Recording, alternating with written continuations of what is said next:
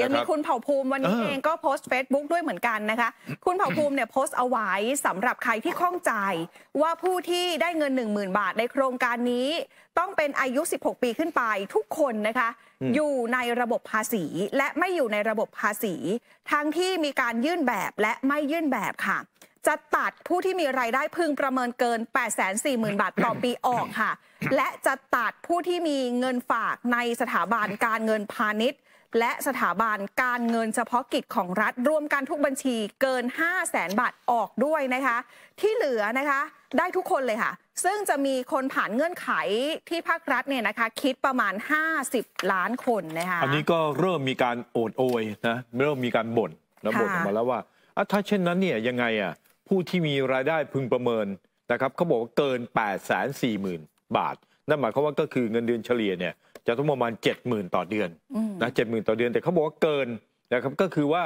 จะต้องมีเงินเดือนนะครับมีรายได้เนี่ยเอาเอาเป็นว่าสมมตินะหารออกมาเนี่ยก็คือเอา 12 หารเนี่ยก็คือค่ะเดือนละประมาณ 70,000 นั่นก็คือว่าถ้าคุณมีรายได้เดือนละ70,000เนี่ยก็คือขาดไปหนึ่งสลึงเนี่ยนะครับขาดไปสลึงหนึ่งเนี่ยนะครับค่ะณก็ไม่มีสิทธิ์ได้แล้ว อันนี้เขาก็เริ่มนะ แต่ว่ามันยังไงอะก็คือว่ามันก็ต้องมีเส้นแบ่งอะ ถ้าไม่เช่นนั้นบอกว่าอะโอเค ให้ถึงเจ็ดหมื่นก็แล้วกันนะครับเอาตั้งแต่เจ็ดหมื่นขึ้นไปแต่อันนี้เขาบอกเกินเจ็ดหมื่นนะครับเกินแปดแสนสี่หมื่นบาทขึ้นไป ถ้าบอกว่าถ้าเอางี้แล้วกันเอาทั้งกันตัดก็แล้วกันเอาสักเอาตั้งแต่เออไม่เกินเอาตั้งแต่แปดหมื่นเออเอาตั้งแต่แปดแสนสามหมื่นเก้าพันเก้าร้อยเก้าสิบเก้าบาท ครับแล้วคนที่ได้ต่ำกว่านี้เขาบอกว่าอ้าวแล้วทำไมผมไม่ได้ถ้าต่ำเลยทำไมผมไม่ได้ล่ะผมไม่ได้อะไรประมาณเนี้ยมันก็จะก็ไล่คงกันไปก็คงต้องอเรื่ยู่เข้าเกณฑ์ของเขาเออมันจะคมันก็จะต้องมีเส้นที่แบ่งไม่ได้ก็ต้องต้องมองเกณฑ์ในการเออให้ของเขาในการแจกนะคะมันก็คงจะต้องมีเส้นแบ่งนะครับทีนี้นะก็ปรากฏว่ากับเรื่องราวที่เกิดขึ้นค่ะนะอย่างที่บอกแหละว่าเอ๊ะแต่เราไปประชาชนก่อนดีไหมนะครับค่ะไปเราจะไปดูประชาชนก่อนดีไหมว่า ว่าว่าจะได้หรือไม่ได้เออว่างิภาคประชาชนดิจิทัลคิดยังไง10,000เห็นยังไงบาทแบบไหนะคะหลังจากที่ภาครัฐแถลงเสร็จสิ้น เราได้ลงพื้นที่ไปสอบถามประชาชนนะคะ อย่างที่โคราชเองนะคะ ชาวโคราชเนี่ยรู้สึกไม่มั่นใจนะคะว่าจะแจกจริงเหมือนกันนะคะรวมไปถึงอีกหลาย ๆ จังหวัดค่ะที่เราไปสอบถามหลาย ๆ พื้นที่นะคะอย่างที่เพชรบุรีก็เหมือนกันอ่าโอเคที่เพชรบุรีที่เพชรบุรีอันเนี้ยที่เพชรบุรีอะค่ะอะที่เพชรบุรีเนี่ยนะคะแม่ค้าก็บอกว่าณตอนเนี้ยขายได้บ้างอืมขายไม่ได้บ้างในแต่ละวัน หากได้เงินส่วนนี้มานะคะ ก็จะนำเงินส่วนเนี้ยมาใช้กิจการของร้าน ส่วนตัวมองว่าโครงการนี้เป็นโครงการที่ดี อีกพื้นที่หนึ่งนอกจากเพชรบุรีแล้วที่โคราชค่ะ ที่โคราชกลับไปโคราชเองก็ได้สอบถามความคิดเห็นเหมือนกันนะคะ คุณคาทาวุฒิเดี๋ยวบอกเลยว่าตนเลิกหวังได้เงินจากโครงการนี้ไปแล้ว เป็นเหมือนนโยบายขายฝันซิมากกว่าค่ะ เพราะหากได้ก็คงได้ไปนานแล้วแหละ ซึ่งที่บ้านตนเนี่ยมีสิทธิ์ที่ได้รับเงินโครงการนี้มากถึง 6 คน และถ้าได้เงินจากโครงการนี้จริง ตนจะนำเงินไปใช้จ่ายในชีวิตประจำวัน ซื้อข้าวซื้อของในการดำรงชีพ เพราะเศรษฐกิจตอนนี้อะไรก็แพงไปหมดนะคะ ไปฟังเสียงพี่น้องประชาชนทั้งจากที่โคราชแล้วก็จากที่จังหวัดเพชรบุรีกันค่ะ ก็มีอยู่ประมาณเงินดิจิตอลปลายปีนี้จะได้ใช้ไหมโอ้ไม่ได้แล้วครับทำไมคิดว่าไม่ได้อะครับถ้ามันได้มันได้นานแล้วนโยบายขายฝัน ผมว่านะ ไม่งั้นเขาก็จับจ่ายกันใช้สอยก่อนสงกรานต์แล้วครับแรกๆบอกว่าจะได้ช่วงต้นปี ตอนนี้ไปจะครึ่งปีได้ยังไม่ได้เลยไม่หวังแล้ว แต่ถ้าเกิดได้จริงๆบ้านเรามีสิทธิ์หลายคนไหมบ้านผมก็มีอยู่ประมาณ 6 7 คนครับถ้าได้มันก็ดีนะคือมันจะได้เอามาช่วย support ค่าใช้จ่ายค่าอะไรเงี้ยเพราะตอนนี้ข้าวของมันแพงมากจริงค่าน้ำมันน้ำมันเป็นอะไรที่ขึ้นทุกอย่าง ไม่ไม่ขึ้นอย่างเดียวคือค่าครองชีพ แต่ถ้าเกิดเราได้ดิจิตอลหมื่นหนึ่งจริงๆอย่างแรกที่จะใช้ทำไงซื้อของใช้ครับซื้อของ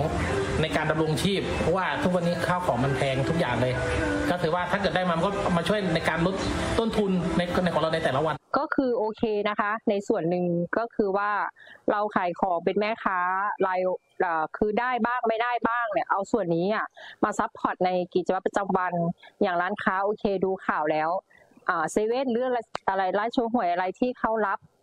โครงการนี้เราก็สามารถจะใช้จ่ายได้ และในส่วนหนึ่งมันจะได้จริงไหม มันโอเคไหมรากหญ้าลึกๆเข้าไปที่ตาสีตาสาเขาไม่มีสมาร์ทโฟน เขาสามารถจะได้ใช้เงินจำนวนนี้ไหมอ่าคือคือแล้วได้จริงไหม ในส่วนหนึ่งก็คือว่า บางคนได้บางคนไม่ได้ มันก็คือจะเป็นข้อถกเถียงของของแต่ละบุคคลที่ว่าทำไมเราไม่ได้ทำไมเขาได้ แล้วคนที่เล่นสมาร์ทโฟนไม่เป็น จะให้ลูกหลานเขาช่วยยังไงได้บ้าง ก็คือโอเคนะเอานะค่ก็ให้กำลังใจกันเป็ข้อถถียไปอย่างที่บอกเมื่อกี้นะคะว่าอืมทำไมบางคนได้บางคนไม่ได้ เพราะว่าบางคนอืมก็เสียภาษีเหมือนกัน แต่ว่าเงินเดือนเกิน เงินรายได้เกินก็จะไม่ได้ อืมก็จะช่วยกลุ่มเปราะบางไงค่ะ ใช่ไหมครับ ก็คือตั้งแต่เจ็ดเอ่อ ตั้งแต่8ปดแสนสี่หมื่นบาทต่อปีขึ้นไปเนี่ยก็จะไม่ได้ค่ะนะถ้าต่ำกว่านี้ก็ได้นะครับเฉลี่ยก็ถ้ารายได้นะต่ำกว่า 70,000 บาทต่อเดือนเนี่ยได้หมดอืมนะแต่ว่าไปแตะ 70,000เนี่ยก็คงจะไม่ได้แล้วนะครับค่ะทีนี้ที่มาของเงินเอาที่มาของเงินนะที่มาใช่ด้วยกัน 3 ส่วนอืมวงเงินจำนวน 5 0 0แสนล้านบาทนะครัคะบเงินส่วนแรกที่จะนำมาเนี่ยเป็นงบประมาณรายจ่าย ประจำปี 2568อืม152,700 ล้านบาทครับ แล้วเงินส่วนหนึ่งก็จะมาจากมาตรา 28 ของทกสเนี่ยแหละค่ะ 172,300 ล้านบาท และเขาก็จะบริหารจัดการงบประมาณรายจ่ายประจำปี 2567 มาอีก 175,000 ล้านบาทค่ะครับไอ้ตรงเนี้ยที่บอกว่าที่คุยกันตั้งแต่วันแรกที่เขาแถลงค่ะข่าวตั้งแต่วันที่ 10 นะครับ แล้วเราก็ตั้งข้อสังเกตทันทีเลยว่าเอ๊ะของทกสเนี่ยมันจะ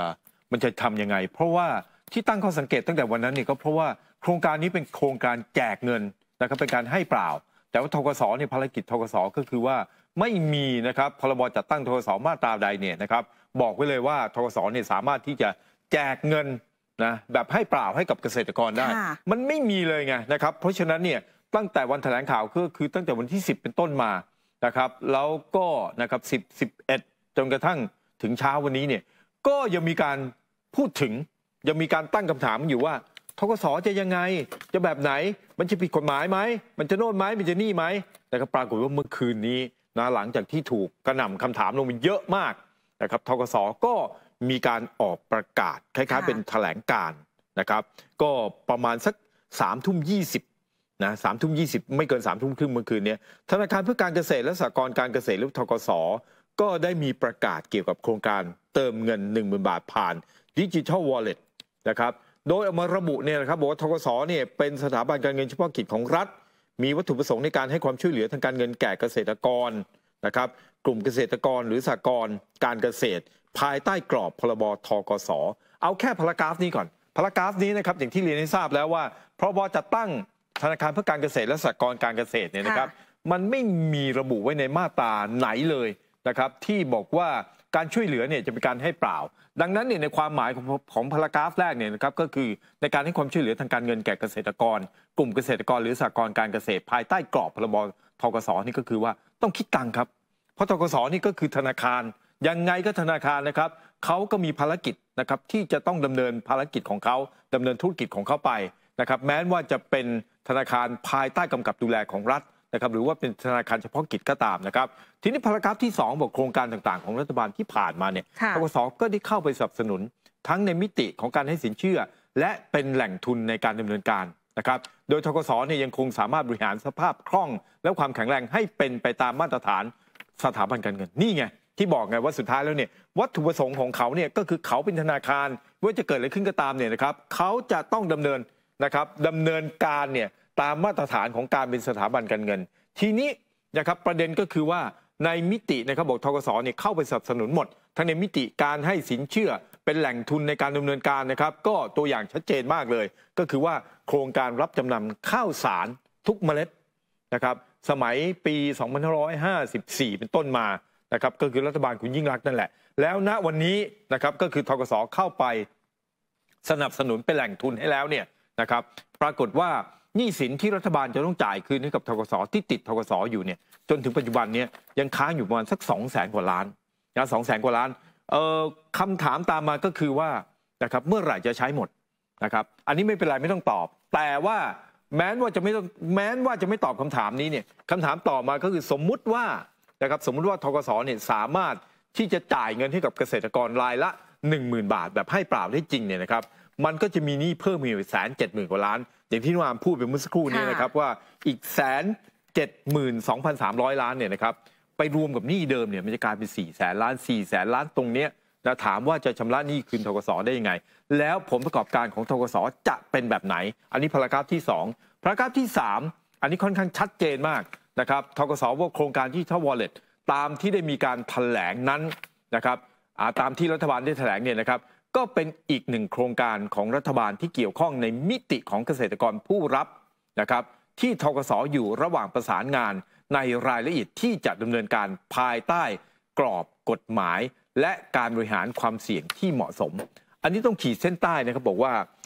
จะดำเนินการภายใต้กรอบของกฎหมาย เหมือนพรรคร่วมรัฐบาลที่บอกว่าไงนะครับท่านงามคือร่วมได้ไม่เป็นไรสนับสนุนได้ต้องอยู่แต่ในกรอบของกฎหมายต้องอยู่กรค่ะอบของกฎหมายใช่ไหมก็คือเป็นคำพูดเดียวกันน่ะ ทีนี้นะครับก็สรุปแล้วนะครับคือเรื่องเนี้ยเรื่องราวที่เกิดขึ้นเนี่ยค่ะจริง ๆ ทั้งสื่อนะครับหลายสำนักรวมทั้งเราเองเนี่ยเราก็ตั้งข้อสังเกต แล้วก็รวมทั้งคุณสิริกัญญาตันสกุล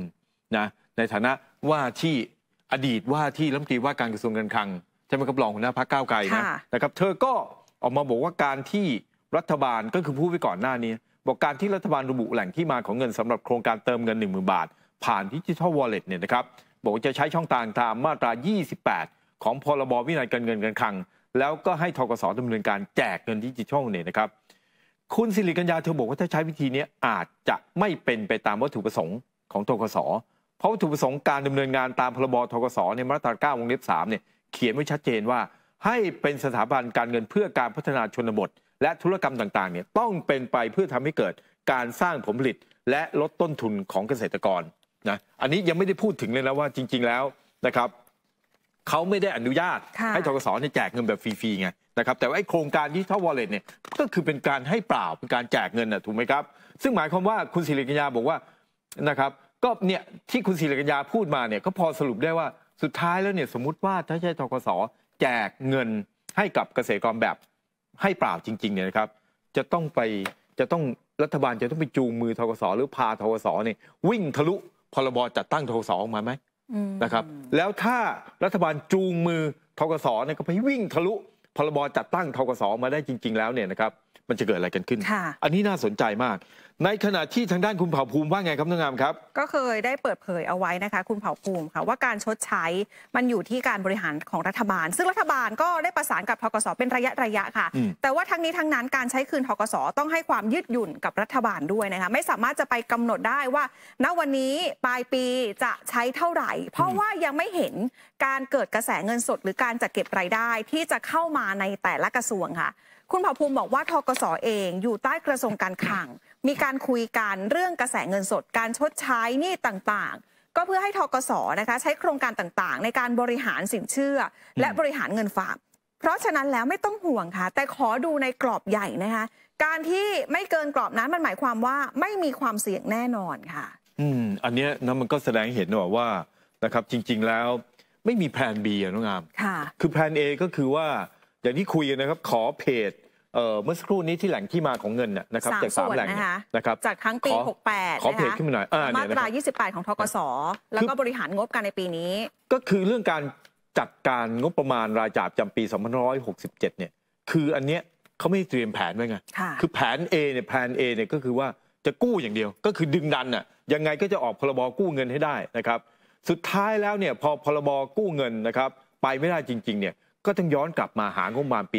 2567 แต่มันไม่ทันการแล้วไงน้องอามครับคุณผู้ชมครับ เพราะว่างบประมาณรายจ่าย 2567 เนี่ยมันผ่านสภาจบเรียบร้อยแล้ว ผ่านใช่วุฒิสมาชิกไปแล้วค่ะผ่านวุฒิสภาไปแล้วด้วยนะครับ ดังนั้นเนี่ยนะมันก็เลยต้องกลับมาต้องกลับมาดูว่าไอ้แสนเจ็ดหมื่นห้าพันล้านเนี่ยนะครับจะเอามายังไง แล้วเมื่อสักครู่นี้ที่คุณเผ่าภูมิบอกกับบอกว่า จะต้องดูรายรับก่อนนะว่ารายรับเนี่ยจะเข้ามาเท่าไหร่ แล้วก็จะสเปนหรือว่าจะแบบจะแบ่งนะครับไปคืนธกสได้แบบไหนอะไรประมาณนี้ซึ่งดูแล้ว